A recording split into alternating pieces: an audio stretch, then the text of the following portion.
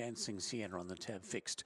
Final two, Majestic Way and Catch Kate coming up to the boxes as we revert back to the shorter racing now to uh, wind off the, the program, 390 metres. Now we're set. The green light is on. So they're ready to go. Dancing Sienna in the white is the favourite. They're racing, Dancing Sienna only mid-pack out of the boxes away quickly. Be careful, boss. Straight to the front over Aston Riku over on the inside.